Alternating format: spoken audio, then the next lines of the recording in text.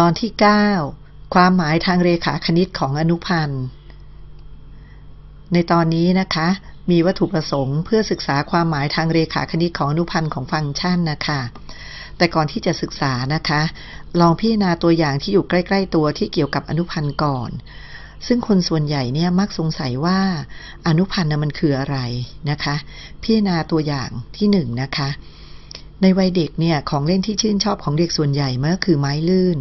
สำหรับเด็กเล็กก็จะมีความชันน้อยและระยะทางไม่ยาวมาก ทราบไหมคะว่า ความชันของไม้ลื่นเนี่ย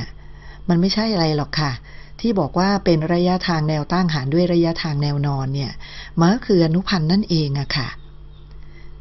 มาพิจารณาตัวอย่างที่สองต่อนะคะ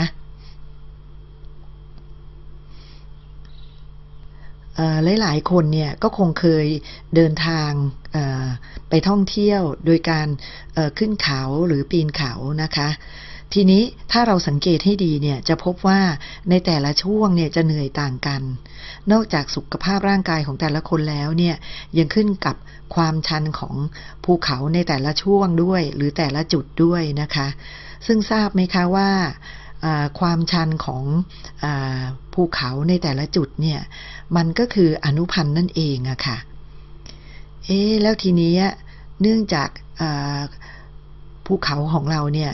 มันมีความโค้งใช่ไหมคะ แล้วเราจะรู้ได้อย่างไรว่าตรงไหนเนี่ย มันจะชันกว่าตรงไหน แล้วจะหาความชันได้อย่างไรนะคะ ทีนี้ให้พิจารณาค่ะว่าเเขามีหลักคิดคำนวณเรื่องความชันอย่างไรกันนะ ในทางคณิตศาสตร์เนี่ยเราจะอธิบายความชันของเส้นเนี่ยมันก็คือความลาดเอียงหรือระดับนั่นก็คือยิ่งชันมากก็จะจะแสดงถึงความสูงชันหรือความลาดเอียงที่มากขึ้นนะคะในหัวข้อนี้นะคะเราจะพิจารณาหาความชันในสองลักษณะก็คือ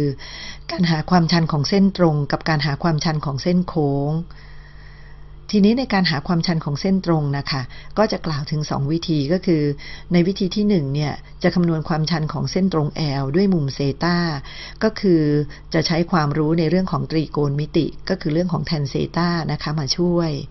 ทีนี้มุมเซตาของเราเนี่ย เราก็จะให้เป็นมุมที่เส้นตรง L ของเราอะนะคะทำมุมกับเส้นตรงในแนวนอนนะคะ แล้วเราก็สร้างสามเหลี่ยมมุมฉากนะคะ เพื่อหาค่าแทนเซตาซึ่งมันจะเป็นความชันของเส้นตรงแอลจะมีค่าเท่ากับ ด้านตรงข้ามมุมเซตา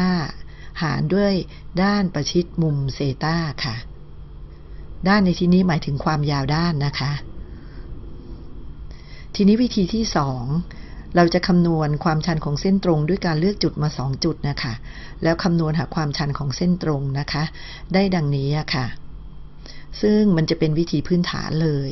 ก็คือความชันของเส้นตรงจะเท่ากับระยะทางแนวต้านหารด้วยระยะทางแนวนอนนะคะพิจารณาเส้นตรงที่กำหนดมาให้นะคะ เราก็เลือก 2 จุดใด ๆ ที่อยู่บนเส้นตรงมา แล้วก็หาระยะทางแนวตั้ง หาระยะทางแนวนอนนะคะ จากรูปสามเหลี่ยมของเรา แล้วไม่ว่าเราจะเลือก 2 จุดใด ๆ ที่อยู่บนเส้นตรงนะคะ ผลหารดังกล่าวนี้ ก็จะได้มีค่าเท่ากันตลอดเส้นนะคะ ก็เลยทำให้เราสามารถสรุปได้ว่า ความชันของเส้นตรงจะคงที่ นั่นคือความชันของเส้นตรงตลอดเส้นนี้จะเท่ากันนะคะในการหาความชันของเส้นโค้งสำหรับ เส้นโค้งนะคะ เราจะใช้วิธีที่กล่าวไปเมื่อกี้ทันทีไม่ได้อะค่ะ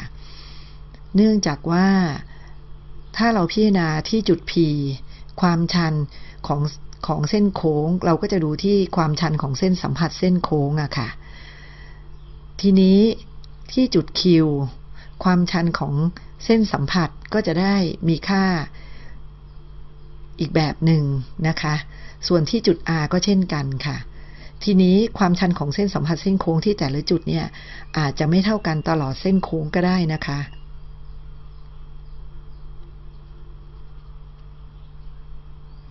ทำให้เราไม่ทราบว่าค่าใดเนี่ย ที่ควรจะเป็นความชันของเส้นโค้งที่ถูกต้อง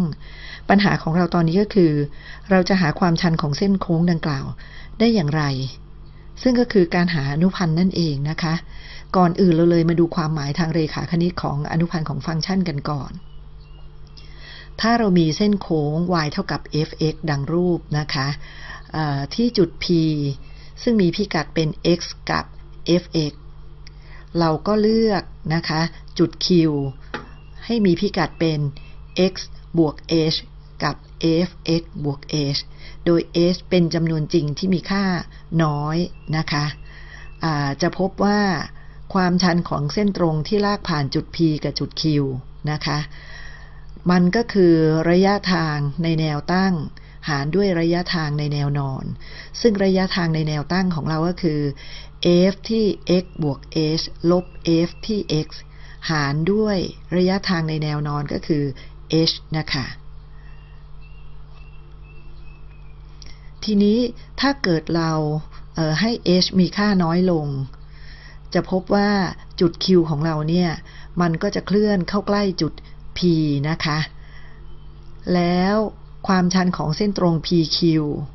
มันก็ยังเป็นระยะทางในแนวตั้งนะคะ ก็คือ f ที่ x บวก h ลบด้วย f ที่ x หารด้วยระยะทางในแนวนอนก็คือ h ค่ะ แล้วถ้าเกิดเราให้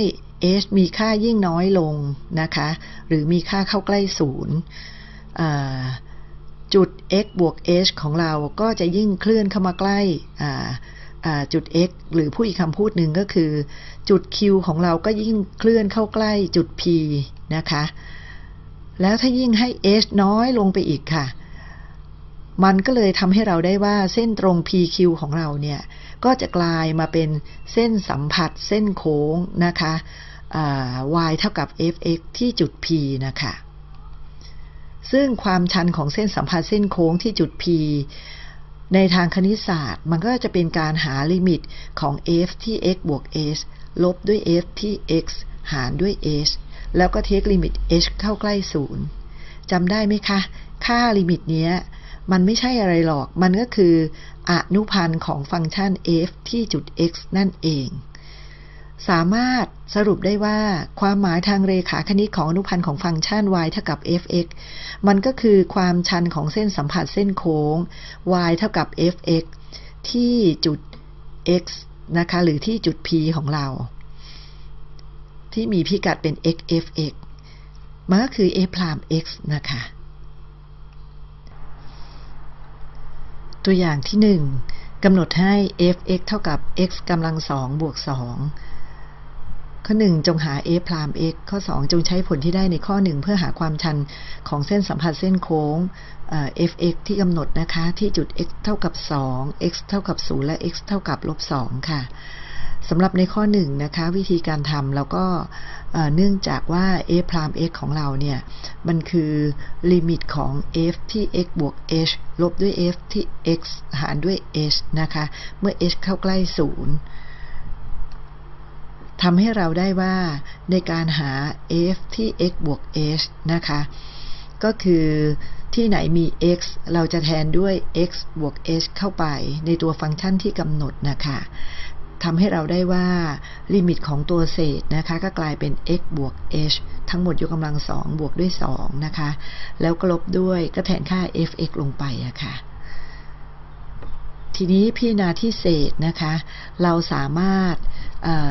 กระจายผลบวกยกกำลังสองนะคะ ซึ่งมีสูตรว่าหน้า กำลังสองบวกสองหน้าหลังบวกด้วยหลังกำลังสองโดยตัวหน้าของเราก็คือ x ตัวหลังของเราก็คือ h ทำให้เราได้ว่า x บวก h ทั้งหมดยกกำลังสองก็คือ x กำลังสองบวกสอง x h บวกด้วย h ยกกำลังสองอย่าลืมบวกสองตัวเดิมนะคะ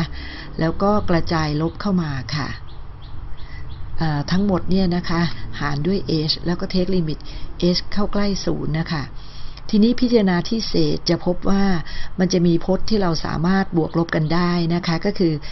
x กำลังสองกับลบ x กำลังสองนะคะแล้วก็บวก 2 กับลบ2นะคะ มันก็บวกลบกันหมดไป ทำให้เศษนี่เหลือแค่